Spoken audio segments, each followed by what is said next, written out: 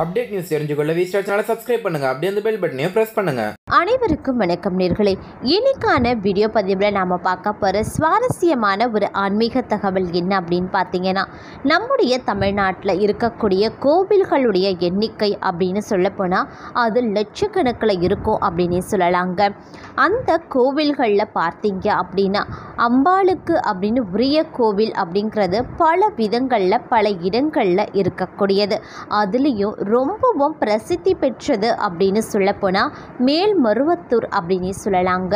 இந்த திருத்தலம் பார்த்தீங்க அப்படின்னா பெண்கள் மட்டுமே வழிபடக்கூடிய பெண்களால் மட்டுமே அபிஷேக ஆராதனை செய்யக்கூடிய மாலையிட்டு வழிபடக்கூடிய ஒரு அற்புதமான திருத்தலம் அப்படின்னே சொல்லலாங்க. இந்த மேல்மருவத்தூர் திருத்தலத்தில் மூலவர் ஆதிபராசக்தி நம்ம எல்லோருக்குமே காட்சி தந்து வராங்க வீற்றிருக்கக்கூடிய அம்பாளுக்கு பார்த்தீங்க அப்படின்னா இரண்டு கைகள் தான் இருக்கும். பொதுவாக அம்மன் சிலைகளுக்கு நான்கு கைகள் அல்லது எட்டு கைகள் இருக்கும் அப்படின்னு சொல்லலாம். ஆனால் இந்த இடத்துல பார்த்தீங்க அப்படின்னா அம்பாள் மனித ரூபத்தில் காட்சி தருகிறாங்க. அதனால் இந்த கடவுளுக்கு இரண்டு கைகள் மட்டுமே இருக்குங்க. பொதுவாக எந்த கோவிலில் மானுட ரூபத்தில் அவதரித்தார்கள் ஓ அந்த கோவில்களில் இரண்டு கைகளோடும் காட்சி தருவாங்க.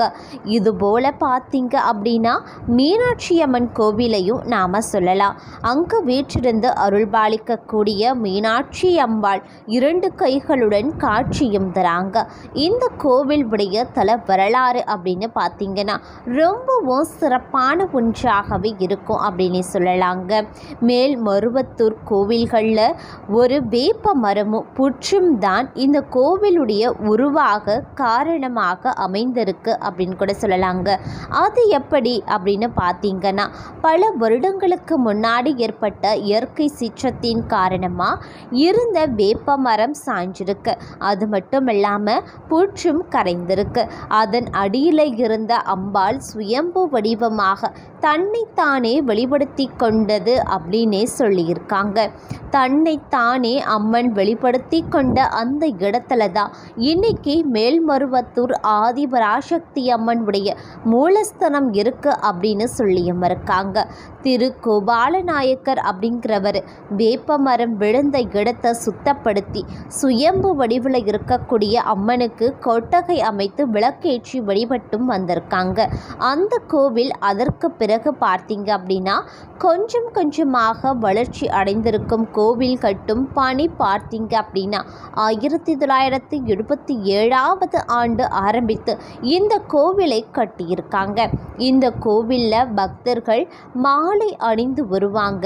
விரதம் இருந்து வருவதையும் வழக்கமாகவே வைத்திருக்காங்க.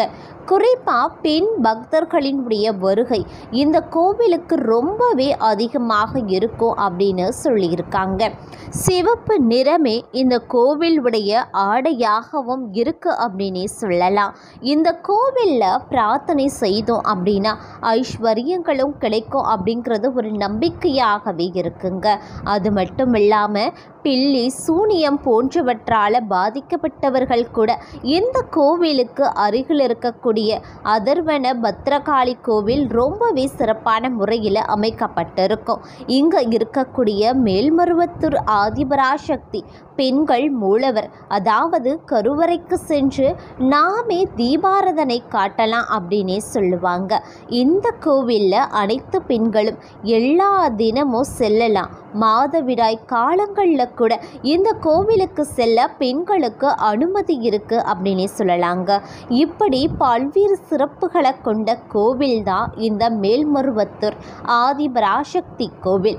இந்த கோவிலில் காஞ்சிபுரம் மாவட்டத்தில் மருவத்தூரில் இருக்கக்கூடிய ஆதிபராசக்தி கோவில் அமைஞ்சிருக்கும். இந்த கோவில் நடை காலை ஆறு மணியில இருந்து பன்னிரெண்டு மணி வரைக்கும் மாலை ஐந்து மணி முதல் இரவு ஒன்பது மணி வரைக்கும் திறந்திருக்கும். இப்படிப்பட்ட பல்வேறு சிறப்புகளை கொண்ட இந்த கோவில் முக்கியமான பிரார்த்தனை தலங்களில் ஒன்றாகவே இருக்கும் அப்படின்னு சொல்லலாம். மேல்மருவத்தூர் ஆதிபராசக்தி திருக்கோவில் பார்த்தீங்க அப்படின்னா இந்த திருத்தல இடத்துல மூலவராக ஆதிபராசக்தி காட்சியும் தருகின்றார். இங்க வீற்றிருக்கக்கூடிய அம்பாளுக்கு இரண்டு கரங்கள் தான் இருக்குதுங்க. பொதுவாக அம்மன் சிலைகளுக்கு நான்கு கரங்களோ எட்டு கரங்களோ இருக்கும்.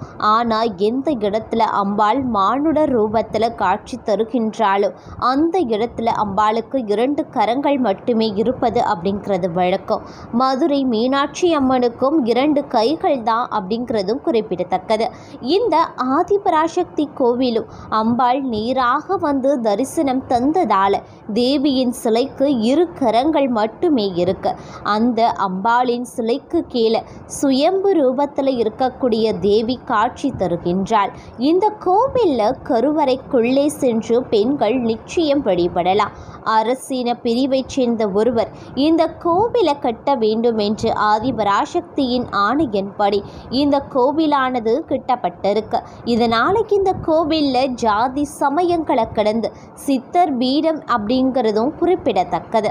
கோவில்களுக்கு உண்டான ஆகம விதிகளுக்கு எல்லாம் அப்பாற்பட்டது தாங்க இந்த திருத்தலம் அப்படிங்கிற சிறப்பும் இதற்கு உண்டு. ஒரு வேப்ப மரமும் புற்றும் தான் இந்த கோவிலில் உருவாக காரணமாகவே அமைந்திருக்குங்க. பல வருடங்களுக்கு முன்பு ஏற்பட்ட இயற்கை சீற்றத்தின் காரணமாக இந்த வேப்ப மரம் சாய்ந்திருக்கு புற்றும் கரைந்தது. அதன் அடியில் இருந்த அம்பாள் சுயம்பு வடிவமாக தன்னைத்தானே வெளிப்படுத்தியும் கொண்டாங்க. தன்னைத்தானே அம்மன் வெளிப்படுத்தி கொண்ட அந்த இடத்தில்தான் இன்று மேல்மருவத்தூர் ஆதிபராசக்தி அம்மன் மூலஸ்தனமும் அமைக்கப்பட்டிருக்கு.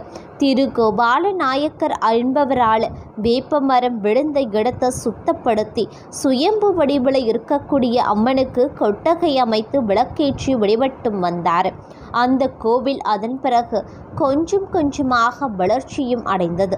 கோவில் கட்டும் பணியானது ஆயிரத்தி தொள்ளாயிரத்தி எழுபத்தி ஏழாவது ஆண்டு ஆரம்பிக்கப்பட்டிருக்குங்க.